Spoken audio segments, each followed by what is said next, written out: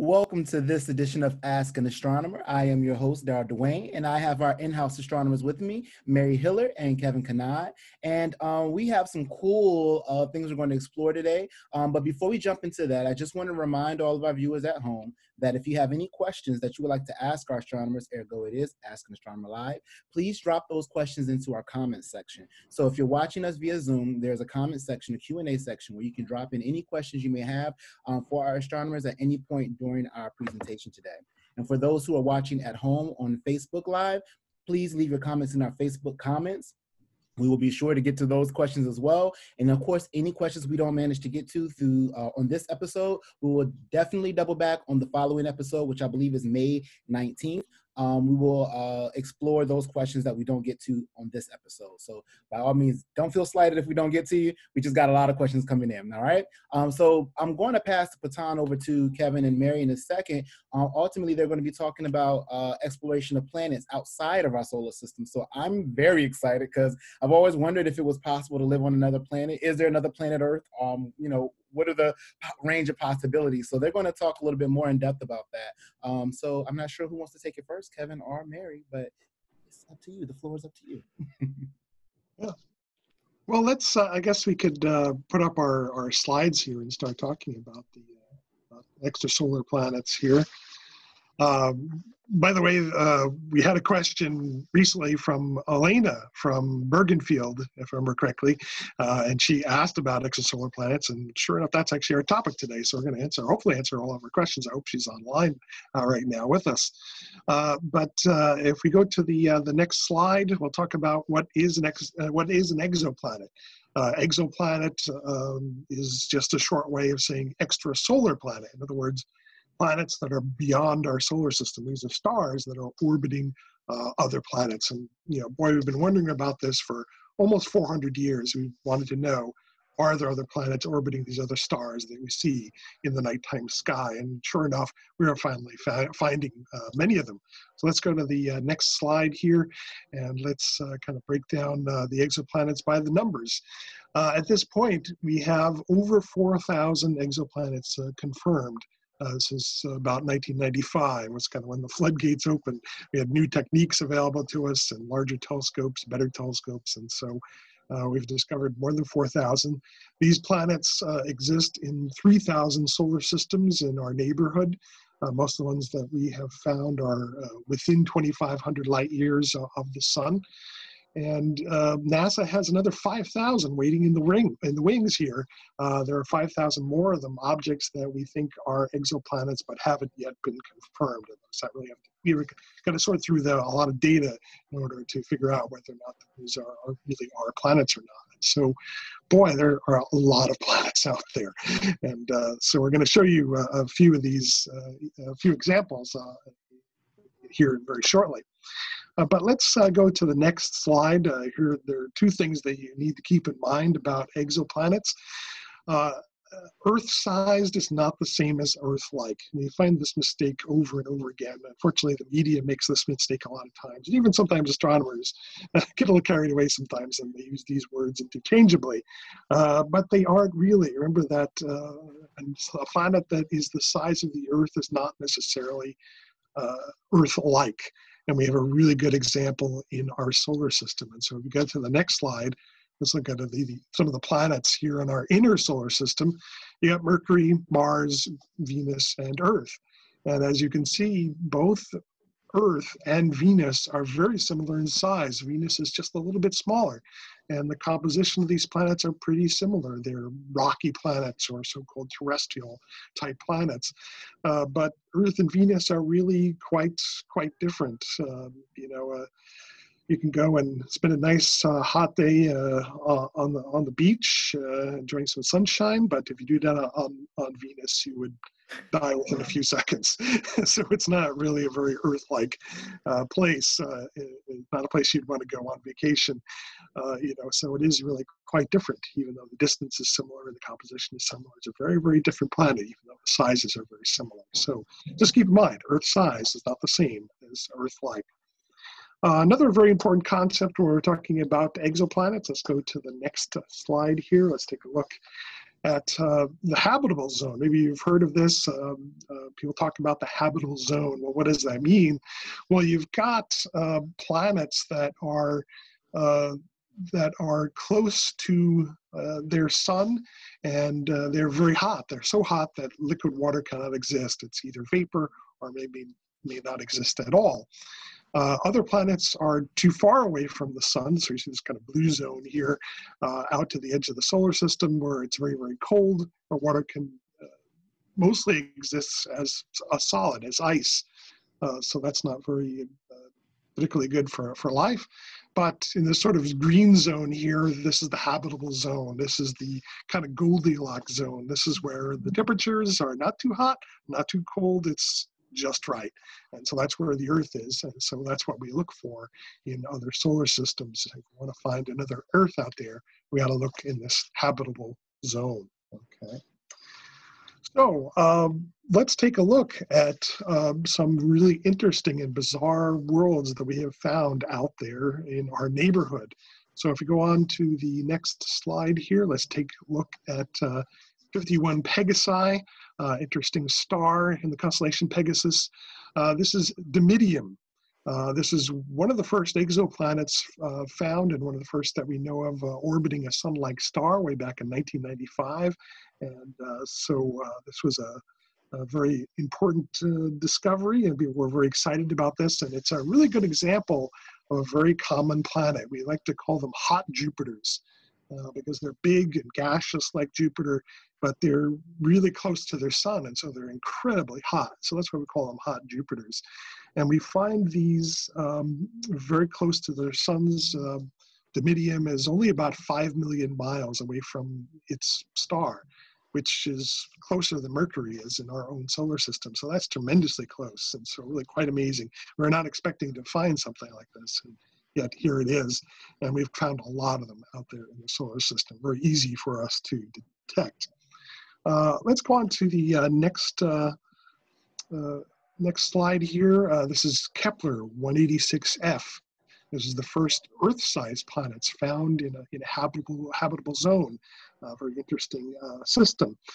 Uh, by the way, um, as we're going through these uh, images of extrasolar planets, keep in mind that these are all artist rendition. If it's not obvious, these are artist renditions of what these planets might look like, because in many cases we don't really have images. We know our telescopes are not good enough to give us images of the surfaces, not not yet anyway.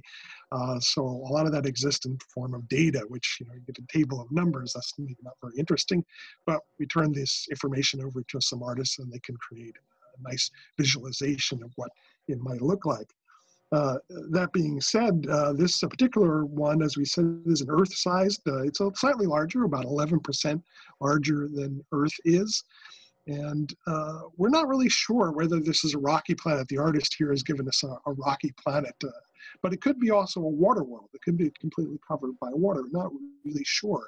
And we're not really sure what its atmosphere is like either. Uh, this is um, not close by to us, so there's some unknowns about it. About 600 light years away from us in the constellation Cygnus. So uh, interesting world. Let's move on to something a little bit more exotic. Uh, here's uh, Gliese 876d. Uh, this was the, one of the first super Earths to be discovered. This was a surprise for us as well. Uh, of course, we do find some uh, planets that are like the Earth, only quite a bit bigger, uh, but we weren't really expecting to find anything like this. So some of them are so big they might be more like the planet Neptune rather Earth, but they have a wide range of um, sizes. And uh, so uh, this is, uh, we think is a, a rocky world. Uh, it's about seven times more massive than Earth. You've got An extra large Earth-sized planet. Unfortunately, it's probably not likely to be habitable. It's only three million miles from its uh, sun, uh, and it's so close that it's years, only two days long. That's how close it is. And so therefore, its temperature is probably molten. You can see the artist rendition here is kind of glowing uh, because the surface is about 650 degrees or so. Uh, so uh, uh, that's a that's a good example though of a super Earth. Uh, let's move on to something even more bizarre. on the next slide, we will see 55 Cancri E, otherwise known as Janssen. Uh, and uh, this is named after a Dutch uh, lens maker. It's another super Earth, about eight times bigger than the Earth. Uh, this created quite a stir when it was first uh, discovered. Uh, it was thought to be partly made, or, or, quite a bit of it is made of carbon, which is unusual, much more than a, a planet like the Earth. and it does seem to have an atmosphere, hydrogen and helium. Uh, but like the previous planet is orbiting so close that its surface is extremely hot, extremely hot. We're talking 4,000 degrees uh, at the surface. So again, not a good place for a uh, summer vacation.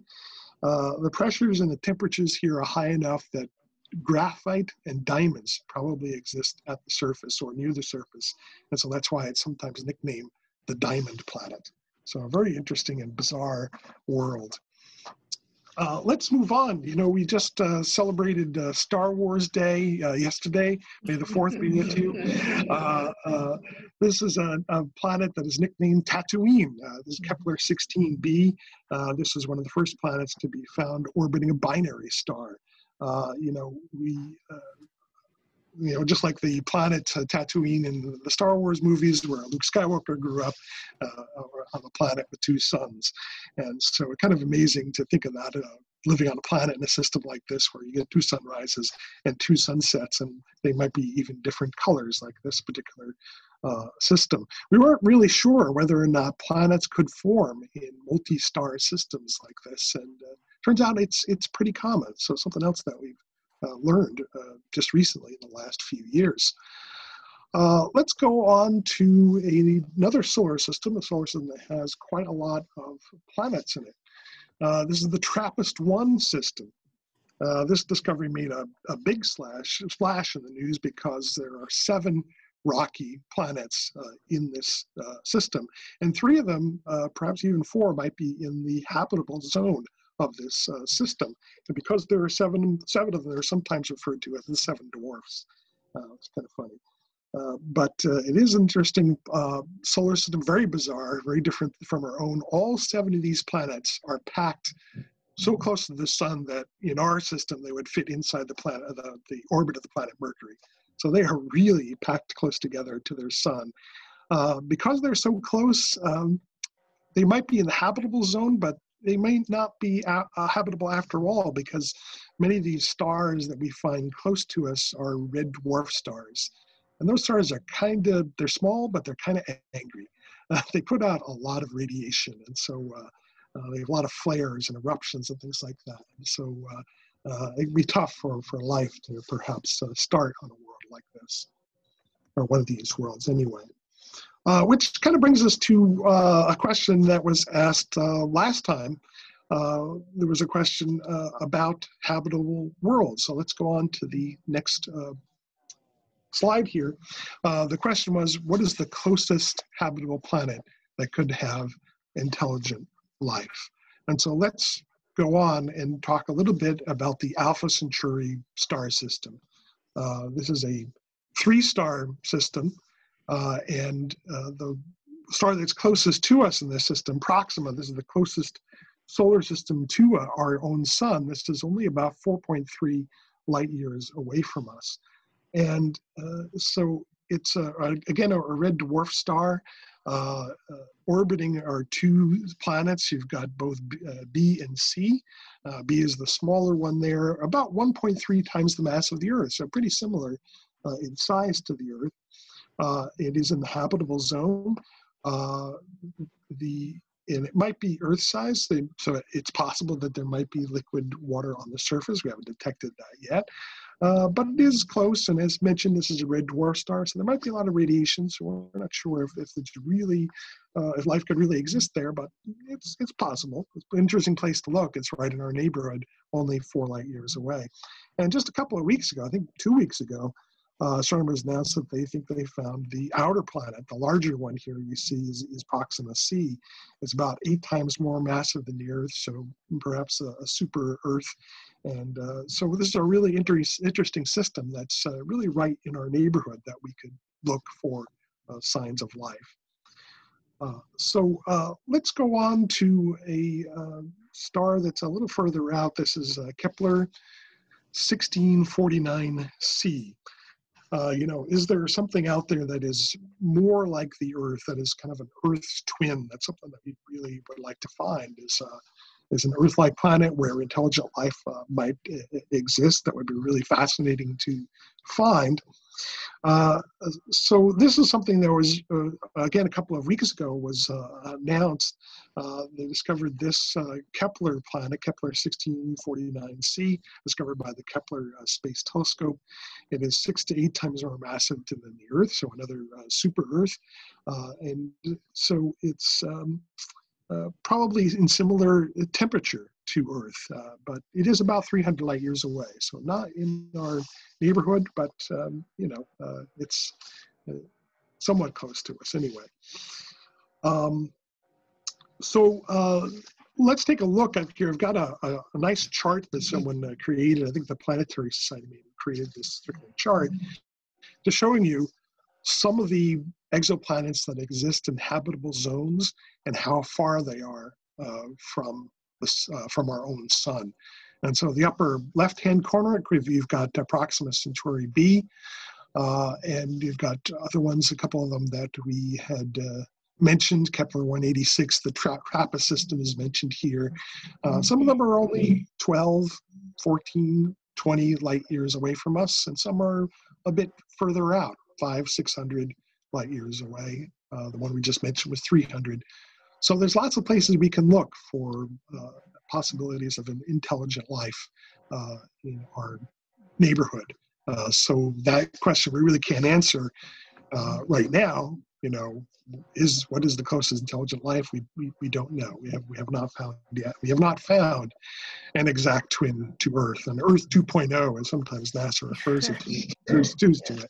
Uh, we haven't found that yet, uh, so we really can't say. But we're looking, and we're finding new stuff all the time, and this is really a, a, a fascinating uh, topic. Uh, one thing to uh, keep in mind, if you go to the next slide, if we look at our own solar system, uh, we find a lot of gas giant planets in, in our solar system and other solar systems. Uh, this is uh, not a great place to uh, look for life because, as you probably know, they don't have any solid surfaces and their atmospheres are, can be very high pressure and some, some of them are not, maybe the gases there are maybe not favorable for, for life. But what about the moons? Uh, let's go to the next slide and take a look at Europa. Uh, one of the uh, biggest moons of Jupiter. Uh, this is a really nice shot that shows the surface of Europa completely covered by ice, but underneath that ice, there's a vast ocean of water. And so, even though it's outside the habitable zone, uh, the interior is quite warm uh, due to the core of it, and also the gravitational pull of Jupiter can keep this really quite warm. And so this is a really good place to look uh, for life, even though it's not an habitable zone. And so maybe we could look for exomoons uh, around some of these uh, other uh, gas giants in the solar system around us. Maybe those are good. That's a good place to look for life. And hopefully NASA will send a probe to this. Uh, the Europa, I forget what they're calling it. Do you remember, Mary? Is it Europa Clipper? That's one of the names they used in the past. But uh, it's one of they used in the past. I'm not sure if they've renamed it to something else at this point. Yeah, yeah, I kind of forget what they, they changed their minds a couple of times, uh, but uh, there hopefully is a mission that will be going to Europa sometime in the next few uh, few years, and so uh, so that's a good place to look for life as well. By the way, uh, if we go on to the next slide, uh, I just wanted to list a couple of names of some of these extrasolar, exosolar planets, exoplanets. Uh, these catalog numbers sometimes can be very bewildering, even to astronomers. You get a big long string of numbers. Uh, fortunately, the International Astronomical Union has been uh, naming some of these, giving them proper names, which is nice, and the public has had, had some uh, input on them. Uh, Dimidium, Dimidium is just simply is from Latin, meaning half because this planet is half the size of Jupiter. Uh, we've got some uh, uh characters from a uh, uh, from a Thai legend, a folklore, uh, Amaratu, named after the Japanese uh, uh sun goddess. Dopir is a region in Senegal. Um, Metz, Metzli is an Aztec moon god, and so on. So there's, some very interesting names for, for some of these, these worlds. Uh, so you can check some of those out. In fact, uh, if we go to the next slide here, I believe I've got some websites. Yeah, uh, the uh, NASA websites uh, are good. The exoplanets.nasa.gov has lots of information about new discoveries and has an updated list of, of discovered uh, planets. Uh, also, there's the Extrasolar Planets Encyclopedia, which is I find very useful because you look at that database and you can sort them, uh, sort the big table of information. You can look for the biggest, you can look for the smallest, and that sort of thing. Uh, it's very uh, a very nice uh, European website to, check out as well. Uh, so uh, there's uh, the exoplanets in a nutshell here. Um, and uh, we did have a couple of um, questions from uh, last time that we did ask an astronomer. We wanted to address uh, this question, especially. I don't know if you've heard this, uh, Mary, though. Uh, uh, some people have seen this on, on social media. a post that's going around that later in May, coming up very soon in May, that Jupiter, Venus, and the Moon are going to line up and going to form a big happy face in the sky. And so if you look at the next slide here, this is what they say that it's going to look like. But next slide. No. no. uh, this is totally wrong. Uh, these kinds of things really kind of drive us, uh, me and Mary, crazy uh, because there's lots of interesting events happening in the sky and some of these fake ones get more attention than the real ones, which is very frustrating. Uh, this is impossible. This is not going to happen, uh, at least not uh, anytime this year, uh, because Jupiter and Saturn are in op- completely opposite parts of the sky. Well, not Saturn, Venus. Right. Oh, sorry. Jupiter and Venus. Venus and, and yeah. Jupiter uh, are going to be completely opposite sides of the parts of the sky. You can see Venus in the west after sunset. Mm-hmm. Well, where are these other planets? Well, let's go to the next slide and show you what's really happening here uh, in May. Uh, in May 12th through the 15th, you can watch the moon pass by the planets in the morning sky. And so we've got Jupiter, Saturn, and Mars uh, in the morning sky. Uh, let's say five, six o'clock in the morning, you get up, uh, you can see in the southern and southeastern sky, you these planets. And on May 12th, uh, the moon will be near Jupiter. And then over the next couple of mornings, you'll see it pass by Saturn. And by the time you get to May 15th, uh, the moon is near Mars. And so that's a real planetary alignment that's happening this month. The smiley face, unfortunately, is not. okay. Well, to add on to that, I remember back on April 1st, which is April Fool's Day, there was this note going around saying that Saturn was going to transit the sun. And of course, that can't happen for us because Saturn is an outer planet. And to transit the sun, you have to go in between the mm. Earth and the sun for, for us to see a transit. So some astronomers were sending that around as a joke. The only problem is when the public hears that, they're like, oh, is that really going to happen? Because they don't realize that it's a joke for April Fool's Day. So there's making a joke, but then there's also bad science. And so we, yeah, it's bad science really uh, annoys us, especially when we have like the Mars hoax going around that Mars is going to appear as as big and as bright as the full moon. Which, if Mars ever did do that in the real sky, we would be in trouble because Mars would be on a collision course with us. So yeah. we are always very interested in making sure that we don't push any sort of misconceptions and we try to clear up some that might be circling around on social media or in the news too. Okay. Um, we did have another question from uh, last time, if we want to take care of that uh, at this point. Um, we had a question about um, new uh, new telescopes. What new telescopes are uh, being planned here? Uh, and uh, this is a question that uh, Mary from Scotch Plains had uh, asked. Uh, so let's uh, take a look at just a couple examples. There are actually quite a few big telescopes that are being built right now. Um, in Hawaii, we have the 30 meter telescope that is going to be starting construction soon, hopefully. Um, the, there's been a controversy about the 30 meter telescope. It's being built on Mauna Kea in Hawaii.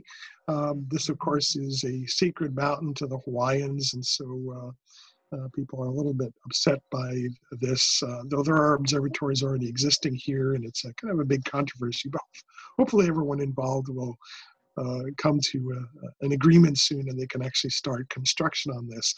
And so this is a huge telescope, um, 30 uh, meters across. So you're talking uh, something that is, um, you know, almost uh, 30 yards across. So this is gigantic. The, the be the biggest thing that anyone has ever uh, built, the biggest uh, telescope anyone has ever built. It has a couple of different um, goals. So we go to the next uh, slide here.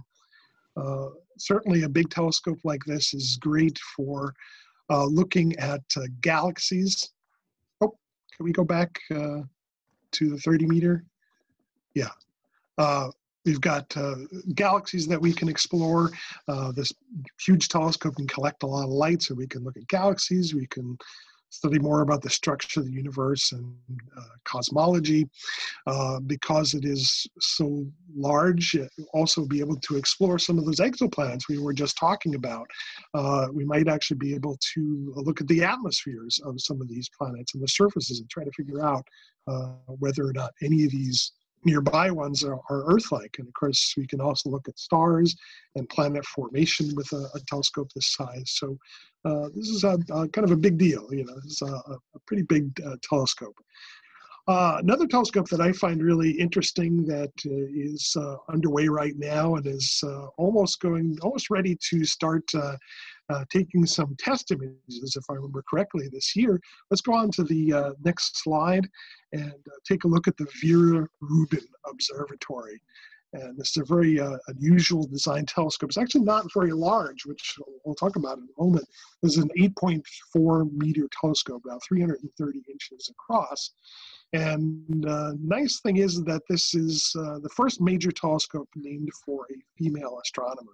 Uh, Vera Rubin is known for providing the best evidence that we have for dark matter. And a lot of people are still mad that she didn't get the Nobel Prize for it. And so uh, uh, this is nice that they honored her with the name of after with this observatory being named after her.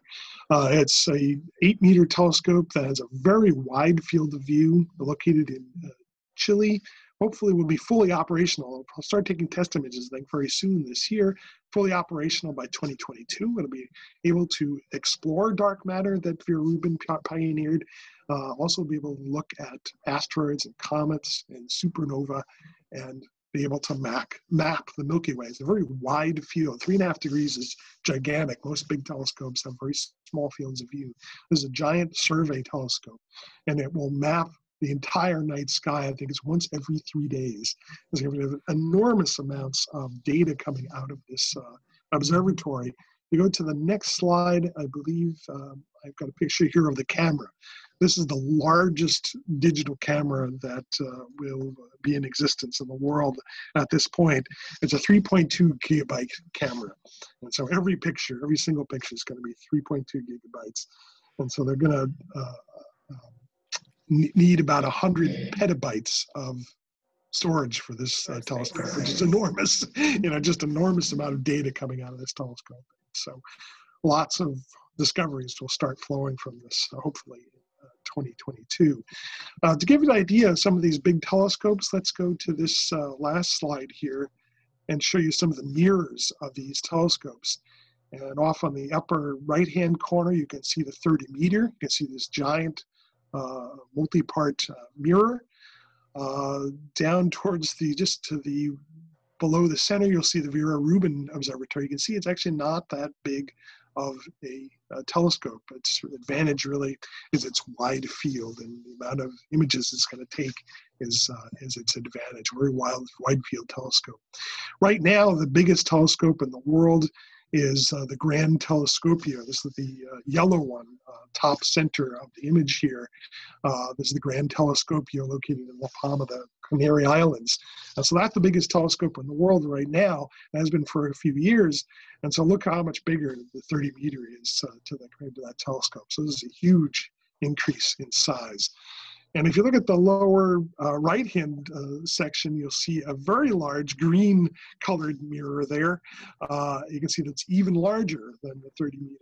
Uh, this is called the uh, the European, the, the, very large telescope. Remember correctly, the Europeans are planning uh, this telescope, or um, actually no, not the VLT. It's the ELT, the extremely large telescope. That's supposed to be even larger than 30 meters.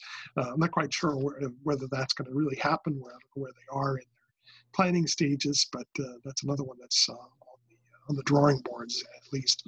So some pretty big telescopes out there, uh, all looking out there at the universe. So pretty exciting. Uh, so um, those are some of the questions that we've had in the past uh, few weeks. And so if there are other questions that our viewers have, uh, let's take care of some of those. Well, we have questions that are really good. good. Um, so with that being said, I'm going to start. I'm going to go back and forth for all of my viewers. We're going to go back and forth between the Q and A that we have here in Zoom, as well as the Q and A that we have or the comment section in our Facebook page. So this first question comes from Bob, um, and Bob wanted to know: um, Earth has a protective radiation belt. Do we uh, have a way to know which of these exoplanets have a protection radiation belt? And either either Mary or uh, Kevin can take that question. Do I need to repeat? Okay, I'll take that one. That's all right. Yeah. So, yeah, the Earth has a protective radiation belt. We call that the magnetosphere. And so scientists have developed a new method with, which allows them to estimate the magnetic field of a distant exoplanet. So they've been able to estimate the value of the magnetic uh, field of planet HD 209458b. So one of those crazy numbers that we get from the IAU. Um, so there are ways to actually detect the magnetosphere around exoplanets, but do keep in mind these planets again are very far away, so we're getting very small signals from them. So you need to have very detailed uh, instrumentation looking for that kind of information. But it is possible to detect and to estimate the value of these magnetic fields around some of these exoplanets. Okay. And it wouldn't have to be a terrestrial exoplanet because Jupiter has a, a magnetosphere as well. So even your gas giants orbiting other planets can have magnetospheres. Okay, hmm. awesome. Hopefully that helps Um, we have another question from Facebook Live. Um, this question, um, and it may be hard to quantify this answer for uh, both of you, but I'll give it a shot. So, um, what are the most important discoveries in your field? That is one of our Facebook questions. So, again, I know that might be it's rather difficult But um, I, oh. mean, I guess. Well, maybe we can maybe make the the question a, little bit e- e- easier to answer. Perhaps is like, what's the most important discovery in our field recently? Okay. Uh, and I would say probably, I don't know if Mary would would agree, but I would say grav- gravity waves. Oh right? yes, definitely. Yeah, yeah. So you know that's part of uh, basically part of relativity. You know, which you know relativity theory goes way back to the 20th century and it's always uh, been predicted that if relativity is a good working theory of how the universe works we should be able to have we should be able to detect gravity waves. Uh, there should be a way of detecting the gravitational uh, field of big events that are happening in the universe. Mm-hmm. And uh, interesting story. Actually, I don't know if if uh, Mary knows this this story, but uh, one of the people who pioneered in this field was actually from New Jersey.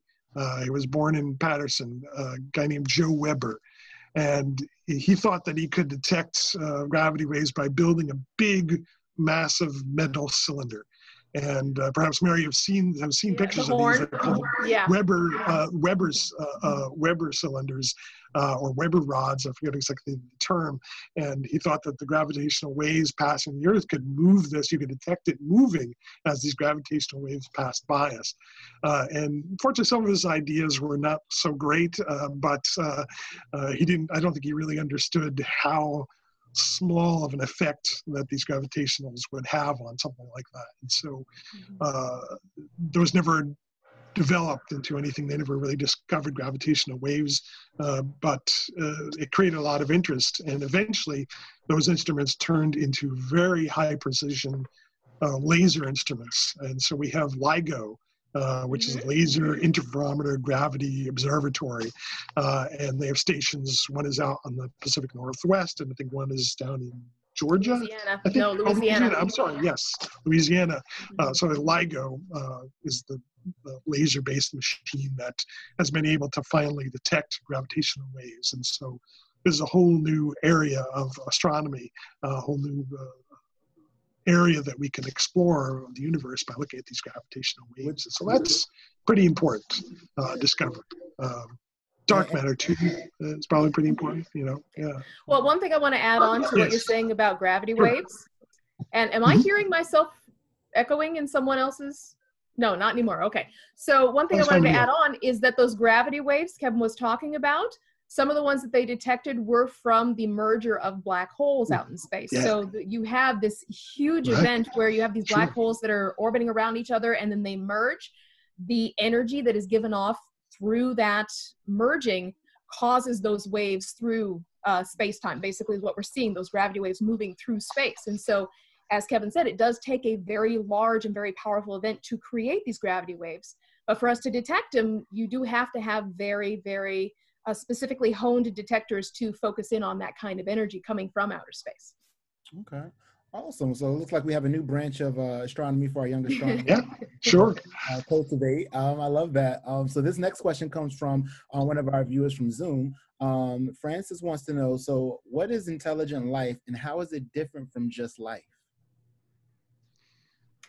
Well, I, I think that can be subjective. Yeah. yeah yes. definitely subjective. Again, I was like, Yeah. it's one of those like, how Well, do you quite uh, at, at- at a basic level, just like we have here on Earth, there's varying levels of intelligence. You know, you've got plants, uh, which you know respond to music apparently. You know, Mhm. uh, uh, uh, but there, you know, there's uh, much there's microscopic life. Uh, so you know, some of these habitable worlds that we've uh, mentioned uh, today. Well, yeah, you may not find intelligent life, but you might find some kind of bacterial life. or Find some kind of find some kind of plant life uh, that i- exists on these other habitable worlds. There's no reason why you can't have a plant world. the plants have the whole place to Oh, themselves. you know? So Yeah. vegetarian planets, you know, um, that's a possibility, you know.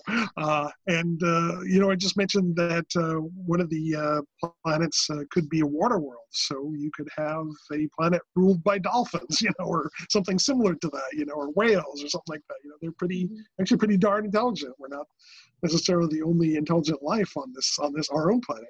Maybe Yeah. not be true of other ones. So yeah, it is kind of some subjective question, but yeah, there's certainly a lot of levels of intelligence. Yeah, Yeah. absolutely. When you think about the different forms of animal life we have on this planet, you can say that ants are intelligent because they work in a community to Yeah. help the community to create their homes, to get the Mhm. food. Same thing with bees. They work in colonies and they work together. So there's an intelligence there. If you want to go one step further, perhaps uh, animals that have learned to use tools like the great apes, how they use a stick to stick it into a termite mound and then eat the, eat the termites off the stick. So learning how to use tools is another level of intelligence. And then as we go forward and forward talking about how developed that intelligence becomes when you develop technologies like we're using today or spacefaring technologies, you, your level of intelligence is going to increase. Hopefully, the species won't destroy itself, you know, as we get to those levels. But that's one of the reasons why we have what's called the Drake equation as to how many planets in our galaxy could possibly harbor life and how many of those could form intelligent life and how many of those would live beyond their infancy and not destroy themselves to become face, uh, spacefaring and so so on and so forth and so you talk about these varying degrees of intelligence compared to just life like bacteria and amoeba where you don't really see um, a community working together for a common goal Mhm. so that's another way of thinking about life versus intelligent life Okay. Um, Yeah. I love the way you all answered that because that was a tricky one. Um, so we have another one coming in from Facebook um, in the comments. Um, so this question is sort of a two-part question. Um, so do exoplanets have a gas atmosphere? Question part half of the question, and then same air pressure as Earth. So uh, I'm guessing they want to know, you know, the exoplanets that uh, we discussed. Um, do they have a, a gas? Are they all gas atmospheres, and, uh, and do would they have the same pressure, air pressure as Earth, planet Earth? I suppose if you you know if you look at our own solar system, uh, there's a wide variety, and that's uh, probably the case for all of these exoplanets. Uh, yeah, you might find um, uh, planets that have very very thick uh, gaseous atmospheres. You might find some that have none at all, especially those planets that are located really close to their suns. Their atmospheres have probably been stripped off. Uh, you have gas giants that have these enormous hydrogen helium atmospheres, you know, so uh, definitely a, a, wide range. And uh, for uh, part two of the question in terms of air pressure similar to the Earth, uh, well, we only need to look at our own inner solar system. You've got Venus, which the pressure is very high. Mm-hmm. Um, is it 100 atmospheres, Mary? Uh, 100 times somewhere the pressure? around there. Yeah, somewhere around 100 atmospheres at the, at the surface. So not only will Venus burn you up, it'll it'll crush you as well. Uh, so it's pretty pretty unpleasant place.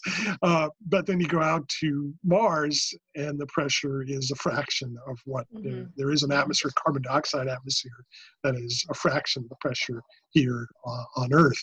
And so, even though we like to think of Mars as an Earth-like planet or most Earth-like planet, you still need a spacesuit to walk on the surface because uh, the pressure is so low. Okay. Um, all right, so we're going to move right along here. We're running out of time, so I'm going to try to get it as many of your questions in, guys. So you, you and at home, if we don't get to your questions via the comments um, on Facebook, or if we don't get your, to your questions here in our Q&A section, we will definitely answer them on the next episode. Um, I have another question from Francis. Um, have we discovered moons from any exoplanets? Ooh, yes, we have. Uh, there's uh, at least one. There might be even two. I'm not quite sure. I've, I've, lost track. But uh, yeah, yeah, we've uh, started to discover exomoons.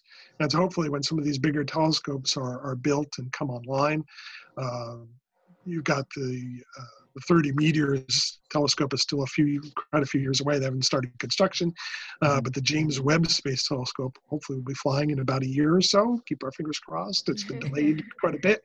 Uh, so, but it's a big space telescope, infrared uh, telescope, so that should be able to show us quite a bit uh, about extrasolar planets, and so uh, hopefully they'll be finding moons as well. Cool, cool. All right, so we have another one um, from Facebook. Uh, this question is, uh, what are the criteria for calling something an exoplanet? What would you need to classify it as an exoplanet? Uh, it has to orbit mm-hmm. around a sun, a star that is not our sun. So it has to be outside of our own solar system for number one. That's probably the most important thing. Exoplanets can be, you know, Jupiter kind planets. They can be terrestrial like the Earth. They could be like Venus or Mercury or Mars. Uh, you can have a, a, very different kind of exoplanet. You could have, where, like Kevin was saying before in the presentation, you could have diamonds on the surface because of how close it is to its parent star and the fact that there's a lot of carbon on that planet.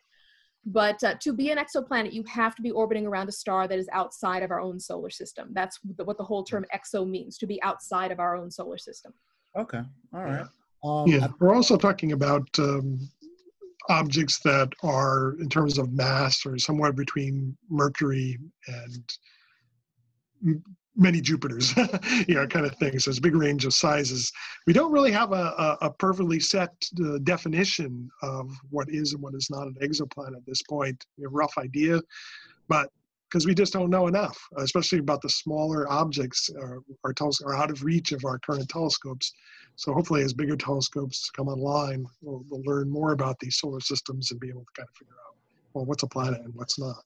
And we can okay. refine we can, re- definitions. we can readdress Pluto at that point yes. too. yeah, yeah, yeah, well, maybe. as our time is winding down, um, I do want to get to uh, one more question here in sure. our uh, comment section, our Q and A section. And again, we do have a lot of questions we didn't get to, so we do see those. Um, and we will get to those in the next episode. Uh, so this next question is from one of our attendees here in the Zoom. Um, they wanted to know where is the world's largest digital camera located? Well, I, I, as I mentioned, it will be the, the, the Vera Rubin uh, telescope this year will take over that title. If I remember correctly, I think the Subaru telescope, uh, the Japanese Subaru telescope, is also located in Hawaii.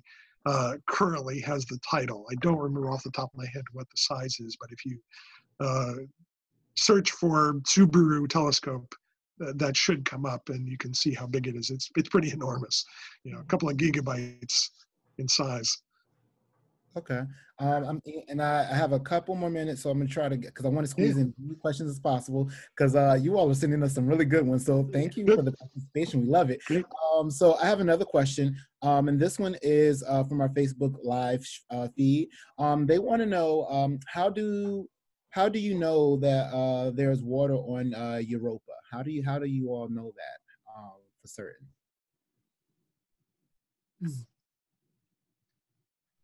Um, well, um, you know, we've we've sent spacecraft. You know, we've got the Voyager spacecraft was the the spacecraft that sort of discovered that. Uh, so the Voyager spacecraft, the Galileo spacecraft that orbited Jupiter for many years, uh, and uh, just from the uh, I don't remember the specifics, but just from the density of the material, we got some very close passes to that moon. And just like looking at the surface, you can see the icy surface is very obvious. Uh, and we have the kind of chemical signatures of what's on, the surface of that moon. And uh, uh, from the gravitational uh, pull of, of Jupiter, we know that the uh, ice can't really exist at those temperatures and pressures. So the ice must be in the form of water. And that's why you can see the cracks. The whole surface is cracked because the, you know, just like a pond, you know, that uh, where, you know, it gets a little bit warm and the ice starts to crack, you know, that's the same kind of thing going on. And so we can see that. And as I said, hopefully you know, the Europa Clipper spacecraft will go visit there. We'll have an orbiter and maybe eventually a lander and uh, take some samples or land in those cracks and or try to find a spot in those cracks where the ice is thin and try to dig down in there, see what we can find. All right. Um, we have another question here um, in our uh, Q&A uh, on Zoom. And this question is from, um, uh, well, specifically speaking to the black holes. So uh, how are black holes detected and what do we know about them? Now, I know you maybe spoke to this a little bit in previous uh, Ask an Astronomer. So, um, you know, by all means, continue. Go, you know, go ahead and uh, the answer to that. Okay, well, one way that we can detect black holes is by looking for the accretion disk that exists around black holes that have material falling towards the event horizon itself. What happens is it can tear apart stars, it can tear apart planets, and that material forms into a disk around the black hole where your event horizon is. That's your point of no return. Once you go beyond that, you can't escape because you have to travel faster than the speed of light. So we have these very bright accretion disks that can form around the black holes, which can help us detect them. But also, if it doesn't have an accretion disk, we can see how the black hole affects the area around it. So if you see a star that looks like it's orbiting around a, an empty area of space, well, that star has to be orbiting around something. It wouldn't just be orbiting in a circle on its own. It has to be affected by something else. So watching how stars are moving in their orbits, if they seem like they're orbiting around some invisible object, there may be a black hole there. So that's one way of sort of inadvertently detecting them. Since black holes by themselves are not something that we can see because they don't give off energy themselves, we have to see how they affect the space around them in that way. But then also, as we were talking about gravity waves and stuff, if you have two black holes interacting, you can have those gravitational waves moving through space and that's another way of being able to detect them too yeah, and those uh, accretion disks that Mary uh, described as that material is falling into the black hole. It's moving so fast it gives off X-rays. Again, mm-hmm. look for those X-rays, and uh, that's uh, one way of finding them. Fortunately for us, uh, black holes are sloppy eaters, and you can see all this radiation pouring out of them. Some, uh, if they're if they happen to be eating at the time, you can see radiation pouring out of them. Even though light mm-hmm. can escape from them, you still see radiation coming from. Okay, cool. Um, this question here is uh, from Facebook, um, and I'm very curious about this as well because I've never heard of this before. So, is there such a thing as a sun rainbow? Have you ever? Well, sun. Well, rainbows there are, across there are halos are all, and there are uh, sun dogs. Um, but a sun rainbow? I mean, well, definitely oh, rainbows are caused by the sun. Yeah, that, all rainbows are sun rainbows to a certain yeah. extent, you know. Uh, but uh, but perhaps you know, uh, um, and I forget exactly what they're what they're called, but sometimes you can see uh, when you're in air in airplane. Sometimes you can see rainbow effects uh, up high in the atmosphere. And halos around the sun and the, and the moon can sometimes have a kind of a color to them that kind of look a little bit like a rainbow and that's all effects of moisture and ice crystals in the atmosphere you know? Okay. So those are definitely some pretty interesting phenomenon. Yeah. especially the sun dogs that mary mentioned. Those are usually appear at usually at sunset on either side. You get these little tiny little streaks of rainbows on either side of the sun. And those are just called sun dogs because they follow the sun Ah, got you. Like a dog following you, you know. Well, I'm gonna knock out these last two questions in our uh, Q and A feed, and then um, there's like maybe two more questions here from Facebook Live um, before we try to wrap everything up. Um, we have like a, a, few minutes, so I think we can squeeze them in. So I'm going to just uh, kind of jumble these last two questions in our Q and A together, um, since they're very short. Uh, so one is from Elena, and one is from one of our anonymous attendees in the session. Um, how do exoplanets get named? And the second part of that would be, uh, is warp speed possible? So I'm very curious about the Star Trek question. I'm, I'm low key a nerd in that regard because I would like, is warp speed ever a thing that we can make? Um, so yeah, so I guess uh, how do exoplanets get named might be the first one you want to tackle, and then the warp speed question next. Right. Well, as Kevin mentioned in the presentation today, um, exoplanets tend to originally get named by using the name of the star that they're orbiting around, and then you add a lowercase letter after that. So A would be the first one you find around that star, B would be the second, C would be the third, and so on and so forth. So like with the TRAPPIST system, you have TRAPPIST 1A, B, C, D, E, F, G, I think all the way out to H wait, A, B, Hmm, like D, E. F, G, G to G, because that's right, seven. yeah. So, uh, so basically, to begin to name the way the IAU, the International, the International Astronomical Union, names them is you start with this the star name first, and then you give it a designation for the planet. You give it a lowercase letter after that to associate it with the star that it was found around. But as Kevin showed in the presentation, now they're starting to come up with more um, more creative names and they're reaching out to the public to say help us to name Yeah. this new exoplanet so some of them are getting more creative names rather than like hd 2645 plus Yeah, 384. plus two. which is almost impossible to remember but exactly yeah but let's let's just call it you know um, um, susan for now you know we'll, we'll call it susan and then you know the the uh, the planet can be called uh, evangeline or something along those lines Yeah, yeah. So that I think uh, the the sh- number uh, the names that I showed uh, were from a contest that the IAU had about five years ago, and so it was nice to get some public uh, input from all all over the world, and they had thousands and thousands of suggestions, and uh, hopefully they'll they'll do that again because they got another four thousand plants to go uh, that that uh, might need names. You know, so, we're gonna need some help yeah you need some help. Yeah. So tackling my favorite part of this question. So is warp speed possible, or do we think that warp speed is will be a thing?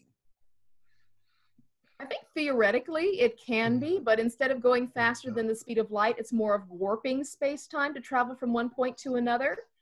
Um, so it depends upon if we can develop the technology for it to be a reality in our lives. Yeah. But um, yeah, so instead of trying to go faster than the speed of light, there may be some other technology where we can actually warp space time to go from one point to another much faster than if you were to travel, say, in a linear line in that way. Um, and the last one that just popped up here on this uh, feed is: uh, Is there an observatory near New Jersey um, that allows public to visit? I mean, that's a great question. Oh yeah. Yes, there are. Yes, yes. Uh, sure, and there's uh, and not just observatories. There are uh, astronomy clubs uh, as well. You know, it's the telescope is the important part, not the, the observatory itself. And so you have a lot of astronomy clubs around uh, around New Jersey, and uh, there are a couple of observatories that are open to the public. Uh, a couple of state parks have them, and uh, Rutgers has an observatory. Some of the universities have them. Uh, so there are uh, some out there. Obviously, right now, all of those are, are closed, but uh, uh, hopefully, as uh, time goes on, they'll be reopening soon. Okay. You know. now this one is from Facebook. So uh, again, um, I think we have like maybe two left on. Well, really, this is the last one on Facebook. So um, Okay. good on time. Um, so with that, um, this one comes from um, I believe uh, Grizel uh, Griselle, and I might be mispronouncing your name. I'm so sorry. Um, the question is, uh, I once hear, uh, once heard that if one twin went to space and spent years in space, that the person would age slower than the twin that remained on Earth. Is that true? Um, does space travel and being in space for a long term affect uh, the aging process um, in, a, in an individual? Uh, uh, called it's called the twin effect uh, or twin paradox uh, sometimes, and uh, so that is possible, but only if you're traveling near the speed of light, because we know as you increase your speed, as you get up towards the speed of light, time actually slows down. It's a really bizarre thing, but it's uh, a- real effect, and um, we've actually can measure it right here here on Earth. Uh, but yeah, your time actually slows down for the traveler. So if you have twins, one who's here on Earth and the other one who's uh, on a Star, Star Trek like ship that's going warp speed. Uh, they go out, they come back, and uh, time has moved slower for them. So the twin on Earth is actually older. Uh, wow. You age more slowly because the time is passing for you much more slowly. So now bizarre, that's but true. like, I would be like, like that. That sounds like another interesting plot. Like uh, they, that's the part that we've never they've never explored in that series. The real science behind what, what you know, light speed would mean for mm-hmm. family members that were left behind mm-hmm. on their home planet. So yep. um, to to to be out there traveling the galaxy and to come back and your kids are all grown like that might um you know be a be, be something worth uh, digging into. Um, there's a, there's a fantastic uh, science fiction novel called forever war by joe haldeman that's really interesting. Uh, okay. uh, it plays into the plot a big part in the plot does it, so it touches on that a little bit. Uh, yeah. Now, now, I have some some uh, quarantine reading to do. Yeah, um, there you go. as we wrap up, um, I just want to make sure that I shout you all out as well because we have a lot of people just who didn't want to have a question. They just wanted to say thank you. Um, so Bob, thank you for, for joining us. Yeah, they were like very much enjoyed this. They they Great. said thank you, thank you, thank you. Um, they thought it was really cool. Um, so for all of you viewing us at home as we wrap up, I do want to touch on a couple of things. We do have a, this isn't our only stop. So there are multiple programs that we have throughout the week. Um, the Newark Museum of Art, we are a global institution. So we are always connecting with other galleries, other museums, and there's always a plethora of things to do. Speaking of plethora of things to do, this week alone, we have Lunch and Learn, which is happening this Thursday. We're going to be sitting down with artist Kinsless Armstead and we're going to have a one-on-one chat with them um, about a couple of the variety of things. Um, and I also want to highlight that uh, Friday, I, I, can't forget Friday. Friday, Friday is the launch of my show, so I'm very excited. so yeah, we did a test run with them, my, our colleagues, and it was it was fun. We had an amazing time. So we can't wait uh, to share with you all our happy hour. So uh, Fridays tune into happy hour. We know that um, the bars may be closed, but hey, the museum, the Newark Museum, we are open. So we want to make sure that you get your cocktails ready, get your uh, playlist ready. Again, if you're not uh, or don't have a Spotify account, go ahead and log in and create a Spotify account. We have a cool curated playlist for you, along with we'll be mixing, uh, I believe it's Tequila Sunrise on uh, our happy hour this uh, episode. So details are on our Facebook page for that. And I can't close out without mentioning Saturday for our parents especially if you have little ones. We have our uh, Storytime Live. Um, so you can register for that as well on Facebook. Um, so again, all of these events are posted on our event page on Facebook. Um, so you can register, sign in, get the login information so that you can be here and um, kind of rock out with us for the rest of the week. Like I said, we're not going to leave you. We are here in this with you. We're all in this together. Um, and uh, we want you to know that the New York Museum of Art is your home away from home. Even for those who are joining us um, who do not live in the state of New York or New Jersey, uh, we're, we're glad that you decided to stay with us for today. Um, and we hope to see you throughout. So, uh, Dwayne, wrapping, signing off. Mary, uh, Kevin, do you have any closing words or closing uh, statements? Oh, join us. Uh, join us next time. Our next Ask, Ask an Astronomer, we have a guest speaker, uh, Shauna Edson from the Air and Space Museum, is going to talk about the sun and a new solar probe that is being sent by NASA. So that's going to be very cool. That's yeah. May 19th, by the way. So in case you missed that date earlier, May 19th, make sure you right. tune in for our next astronomer. We are again glad you joined us, and that's us signing off. Thank you so Great. much, all.